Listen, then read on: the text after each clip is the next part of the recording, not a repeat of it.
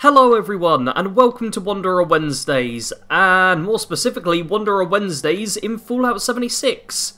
And for the first episode in Fallout 76, I've decided to show off the location, which I was most interested in when I first saw like the maps in-game, just kind of floating about. Oh, there's some more rats over there. Which is Vault-Tec University, just here. Yeah, I've already poked around this place once before, but I didn't get a proper go at it, as I ended up teaming up with someone afterwards, so I went away and did that. But now, I figured I'd take a proper look, because yeah, this place is cool. Ooh, Post Tenebras Lux. Now, this is when you need John from Many a True Nerd here. He's, um, actually, you know what? I'm going to be really, really cheeky. and just for the sake of it, let's see if we can add him. There we go. Sent John from Many a True Nerd a friend request. Because there's been enough people in the past who's, who have asked for a collaboration. You never know, in this game, there's a slim chance of it happening. Yeah, so Vault-Tec University, which looks really cool. I should say, I've never been to an American university. I've only seen them in movies. And, um, I've not been to, like, a proper big English university in many, many years. So I'm not sure how reliable this is, but this looks like fancy schooling, yeah, multiple buildings. Um, let's start off with the big main one, because that's the attraction. And, geez, this, this just looks quite pretty. Like, I'm surprised at how well the game looks. There does seem to be a problem with, you can see their depth of field. It seems a bit off on that, but the stuff overall does look pretty just nice, which I approve of. And we step inside. I quite like that the interiors are dark in places. Ah! Okay, so this place is infected with mole rats. That's good to know, and I can hear a ghoul somewhere too. Oh, I could also hear someone opening a door. I don't know if that's another player or a ghoul. Let's check on the map. Okay, no other players apparently around me, unless they're crouching like I am. Because that does make you invisible on the map. But yeah, sounds like we got plenty of ghouls up here, as well as mole rats. So let's deal with them. And, oh, look at this. This I, I took a picture of before. I had just enough time to take a picture of this before I got pulled away to go multiplayering. Yeah, that right there is just kind of cool. It's a little actual vault thing, and oh, it's nice. And yes, quest objective, I know you want me to go outside, but we're not doing that right now. We have more interesting stuff to do. So let's have a little wander about, see what I can find. Because, oh, here's an actual vault inside of a university. Yeah, like, there's power reactors. Oh, and a bunch of ghouls. Who, have they died down here? Or have they, oh dear, oh dear. Have they turned up from outside and then shown up? I do not know. Yeah, there's definitely more of them around, so let's clear those out, then take a bit of a look, and see what's going on. So a lot of this stuff should be pretty familiar to people who played Fallout 4, and more specifically the, uh, It wasn't Vault-Tec, it, well, it wasn't called Vault-Tec, but yeah, there was a Vault-Tec DLC. And, ooh, a door. Simulation vault entrance. So we have not a real vault, but a simulation one inside of a university. Let's see, can we just open this up? Uh, oh, previous simulation status. Failure, total loss of life. Well, we already know everyone's dead. Current status, Vault has been cleaned by automated systems and is ready for the next simulation. Upcoming simulation, no plans available, system awaiting setup instructions. So, let's open the door and head inside. Because, yep, door has opened up. Uh, let's walk through and... Okay, bunch of destroyed lockers. Just take all the junk. Oh, I'm over encumbered, that's not too good. But it's fine. And then, yep, vault stairway. And... Ooh, quite a nice fancy vault down here. We've got, yeah, just... You always get kind of a standard, just, oh, we're just going to throw the junk of the vault in the first bit. And then it opens up into, we've got a classroom on the left-hand side, and a med bay on the right. Let's go to... And there's a, there's a working Mr. Handy down there. There's working Mr. Handys all around. I think this area might be safe, so I'm going to put my gun away. Yeah, basic classroom in here, lots of desks, like you'd expect in many vaults, like Fallout 3, it was a big point that there's like classrooms and they get taught, and boards up there to get it all done. Fairly standard from what you'd expect. Then medical area. I think Did most vaults have a medical area as well? A lot of them certainly did, but I don't know if it was literally every one. Probably not knowing Vault-Tec. And do the Mr. Handies have anything to say? Just say hello, apparently, and you've only got one arm. Actually, it looks like they've all only got one arm. I wonder if there's a reason behind that, or if it's just like, oh yeah, these just have one arm. Oh, and this bit looks kind of cool. Yeah, walk in here and... Inaccessible door. Okay. Yeah, like in Fallout 4, collecting junk is a big thing, so you will see me occasionally just looking at everything. Uh, okay, shower, bathroom thing here. This is all looking fairly standard and typical of what you'd expect from a vault. So the simulation is quite accurate so far. Right, and oh, oh, opened the door. And we got a feral ghoul here. Shoot that in the head quick. Okay. So they say they've cleared it out, but it's not entirely done. Ah, this looks like... From the overlook, I'd have said Overseer's office, but maybe not exactly. See if a terminal sheds any light on anything. Nope, that's just another entrance. Okay. So yeah, this is just another entrance into the vault, or simulation vault even, that we can get into. And then what's up here? Standard entranceway, and... kill a couple of ghouls quick. And then we can check out what's going on. And ghouls often have the requisition things. If you're looking for supply drops, yeah, there were vault dwellers in here. VT, Vault-Tec, so I'm guessing these are university students that just got, yeah, stuck in here after the bombs went off. I'm sure we will learn more about them very soon. Oh, just opened up this door and a whole bunch of Vault-Tec people, or students, obviously trying to get in here. And more of them trying to get in the other door, extinguisher in hand, obviously trying to break through it. This looks... This this here, yeah, I was on the other side before. This is the Overseer's office. So let's see what the Overseer of this vault simulation was up to. Overseer's log, 15th of October 2077.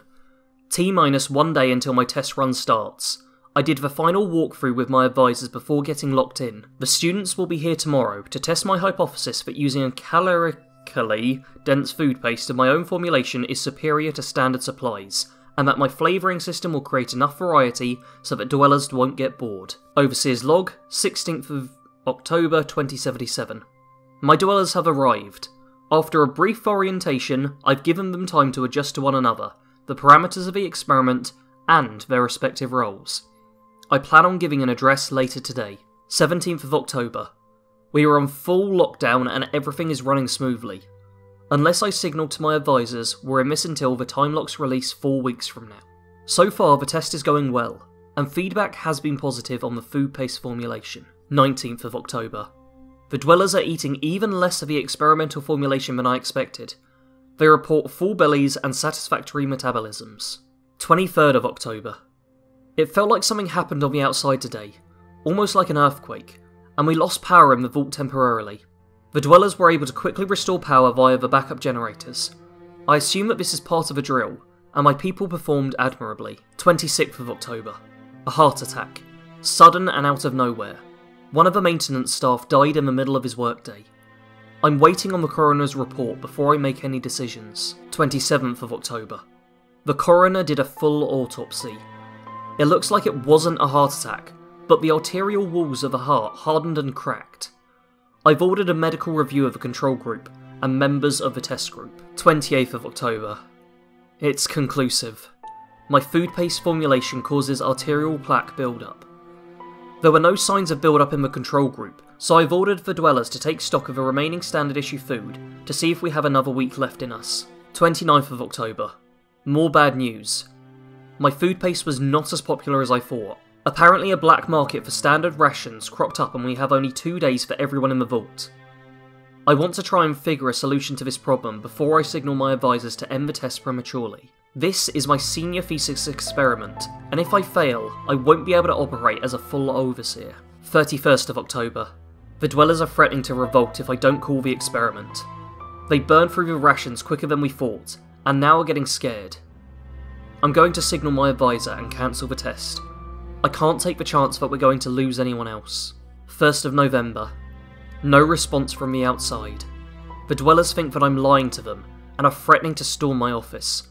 I'm not sure if I can hold off a full offensive for two full weeks. 2nd of November. They've breached the outer seal and are at the door to my office. I can hear the drill operating. It'll take them days to get through, but I can't take the chance. I don't know why my advisors aren't responding.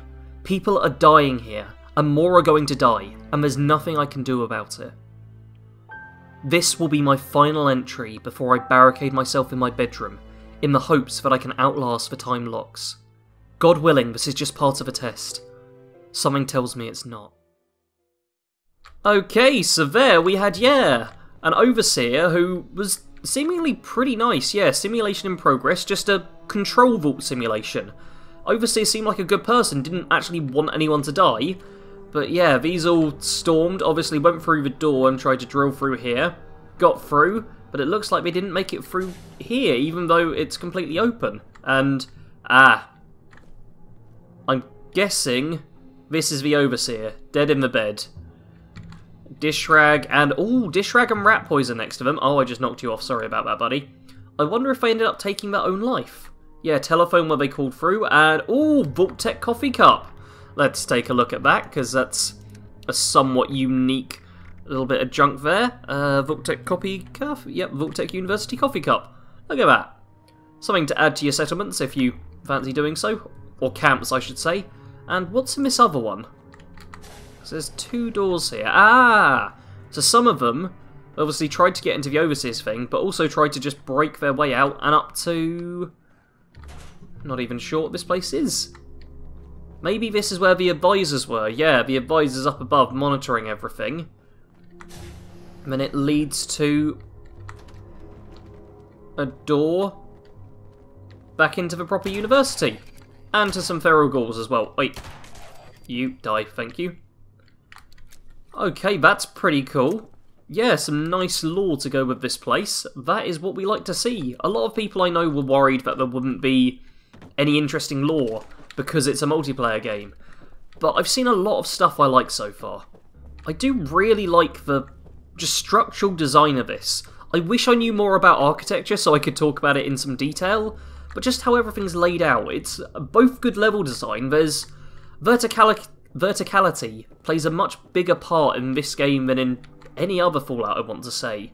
And, oh, Office of the Dean. Stuff's actually signed, and this, I'm guessing, is the actual Office of the Dean. And there's so many things like this where you can walk through walls, and sometimes you can get around, like, lockpicking checks, because there's just a wall with a hole in it right next to it. Stuff like that is little lovely bits and pieces that I do really enjoy. Oh, apparently there's a feral ghoul somewhere. Yep, Dean's office. Nothing too interesting in here. What's next door?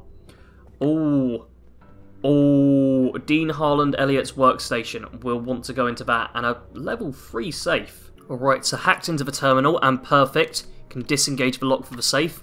I definitely advise hacking if you're looking to open stuff. So many safes are controlled by terminals. And student thesis evaluations. Liam Hornwright. My understanding is that Mr. Hornwright is attending school primarily to party, and spends the majority of his time in a haze of marijuana, hence his absurd and hastily banged out proposal.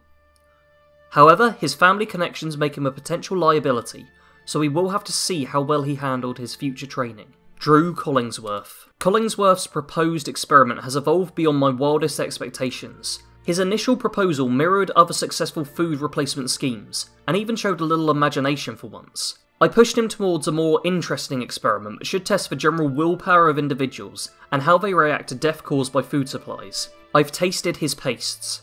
They're suitably horrible, so we're going to mass produce them and add an arterial plaquing agent that should cause rapid circulatory system decline. I expect a full blown revolt within two weeks, and we should be able to end the experiment in the middle of week three. Okay, so even though the person trying to become an overseer was being like all innocent, and from the sounds of it, actually made half decent food replacement paste, although not particularly well tasting.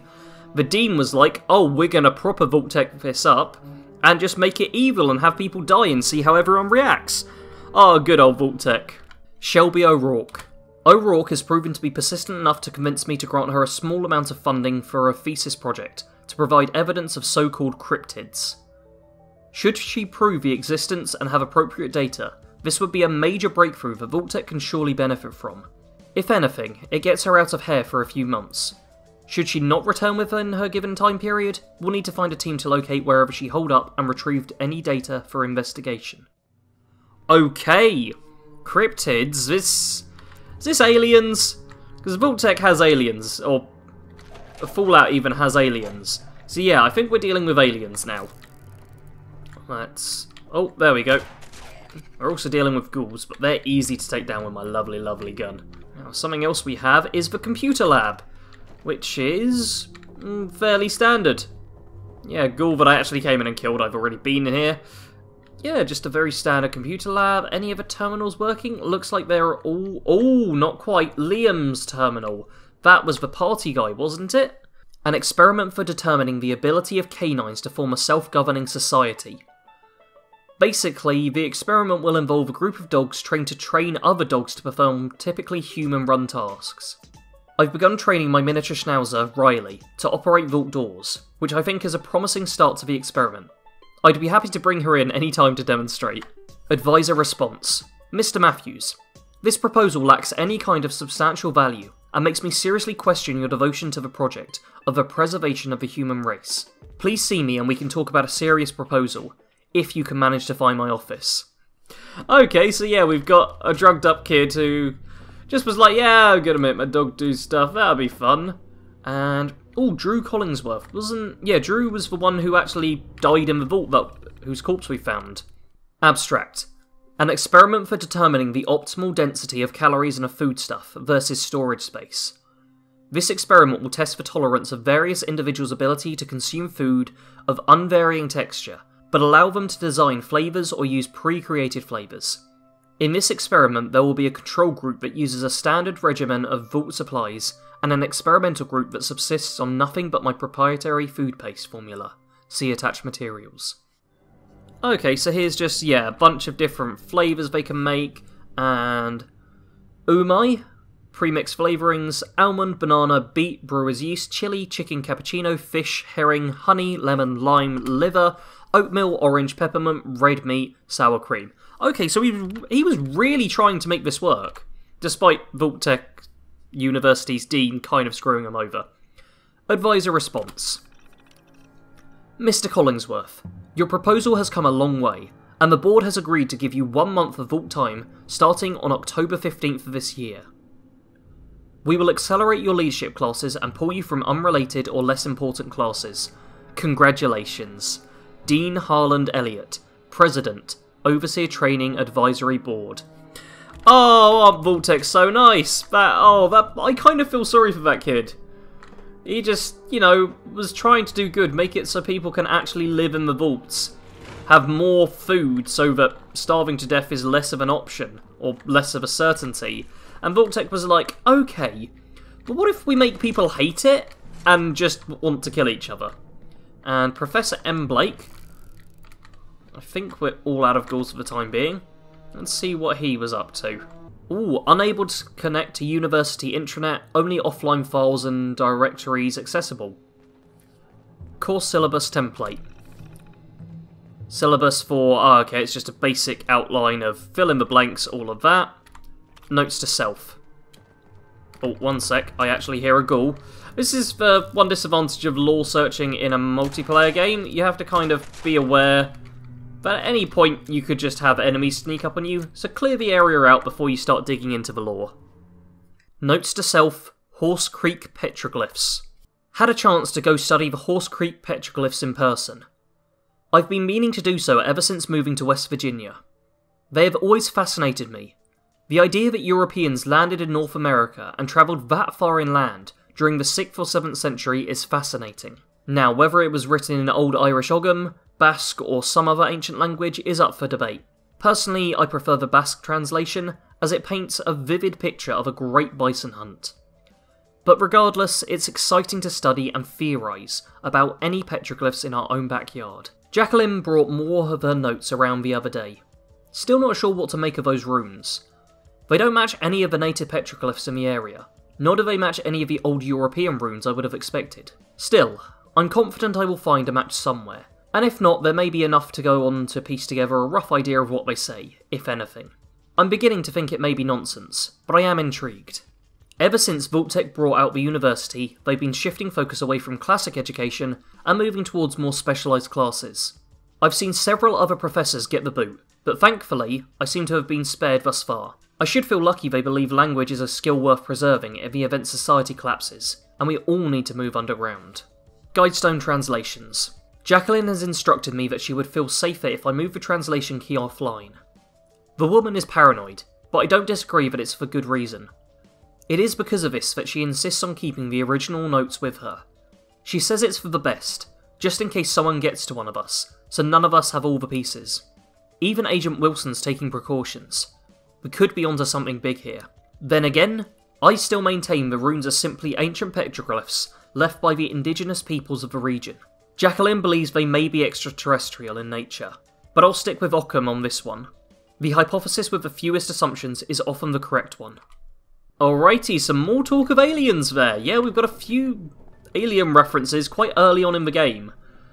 Let's see just what else I can find whilst wandering around this place, because yeah, there's there's a ton of lore here. We have all the lounge. Yeah, this isn't like a specific lore video, but I figure I'll cover it seeing as it's all here and it's all quite interesting.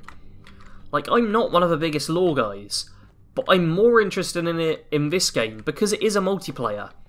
And it feels like, oh, it's not just bloody bloody blah. We actually get to properly interact with this stuff. And it's so early on with the vaults as well that stuff isn't corrupted. It's, oh, I'm quite excited. Alright, dropping down from the hole in that old professor's office, we have, first of all, the couple of ghouls there, and then Young Dweller Development Terminal, where we've got a child's bedroom here. Or a child's vault bedroom, anyway. Yeah, just standard stuff here, some wooden blocks, giddy up buttercup, a couple of beds for two dwellers, and a few things for a classroom. Although that one is not too well spaced out. Let's see what we've got here. Class Syllabus, Preteen Vault Dwellers. Introduction. One of the duties of a Vault Overseer may involve becoming a surrogate parent or dispensing advice to actual parents of young dwellers. Through this series of courses, Vault-Tec will instruct you on how to deal with one of the most difficult classifications of children, the preteen, 10 to 12 years of age. If you have any questions about the entries in this syllabus, please speak to a Vault-Tec University representative. This course is designed to introduce the mechanics of preteen physiology. The focus will be primarily regarding maintenance and upkeep, including things that can go wrong in the preteen's body. Students will be instructed how to repair common issues and deal with physiological emergencies. Please note that this course includes laboratory dissection work, so the proper biohazard equipment will be issued after registration is completed. Learn how to cope with such issues as preteen angst, tantrums, outright defiance, whining, laziness, and self motivation. The course will also instruct the Vault Overseer on how to draw up behavioural contracts, and define consequences for preteens who breach outlined obligations. Many young Vault dwellers will reach the puberty stage during their preteen years. This course will enable the Vault Overseer to understand the changes that are occurring in these budding youths and become their mentor if necessary. Explanation of physical and psychosocial behavioural changes is covered in the course, as well as how to explain these changes to preteen dwellers in a way they'll understand. Also included will be how to properly administer and explain the Vault-Tec Puberty Welcome Kit, which should be presented to all preteen dwellers once they've achieved this growth milestone. Although a preteen can range from only 10 to 13 years of age, they certainly qualify for a variety of jobs in the average vault. This course is specifically designed to explain the difficulties of various tasks, and which ones are optimal for the preteen dweller. The course also deals with occupational safety considerations when assigning preteens to tasks involving nuclear, biological, or chemical environments. Cool, so was just like, oh yes, human, children. They're like, what, wait, what's a human children things like? Oh, I've just stepped outside by accident. One second. Ooh. Somewhere in the distance I can hear a Mr. Handy just beat up a ghoul. And, okay, some first aid things kicking about as well yeah, I think we've explored pretty much everything of note here. We have, yeah, back down to the entrance to the vault simulation. trying to work out if there's anything I've really missed so far, but I think we have everything. I'm going to keep recording for a little while just in case, and I'll probably meet you outside for the outro if there's nothing else. If there is something else though, I'll cut ahead to that now. Alright, so back outside Vault-Tec, and oh, looks like mole rats have respawned. I actually came out of this one here, so it looks like the underground vault connects this to this to that. which is pretty cool. means everything is nice and connected. And this is a really cool location. Like, I've been exploring it for 45 minutes now, and I had popped in once before very briefly. And oh, I'm joining an event as well. Cool. Yeah, this little thing here. Just, oh, hold up. Alright, left that event. Yeah, this place is just pretty damn awesome, to be honest. It's... Oh, God! I put my gun away! Why'd I put my gun away? Why'd I put my gun away? Bad mole rat. This place is pretty damn cool. I'm very happy I came here, and more than happy that this is the first episode of Wanderer Wednesdays. So, like, having that light it up as well. Oh, this is a pretty, pretty location. Let's get ourselves a nice selfie with it first, just to kind of end things off. There we are. Look at that. Just a nice basic picture to remind us of the experience. Isn't that lovely? I want to thank you all very much for watching. If you've enjoyed, do hit the like button. Subscribe for more Fallout 76 content. I plan on doing this a fair bit with Wanderer Wednesdays, which happens every Wednesday. There'll be a lot of wandering around Fallout 76's West Virginia, exploring interesting locations, or just going on a bit of a trek for the fun of it. I'll also be doing plenty of guides, builds, general gameplay videos, a bit of everything really. I've got a lot of plans and not enough time, even with doing this non-stop. So, thank you all very much for watching. Once again, if you liked or enjoyed, hit the like button. That's all for now. Sarge out.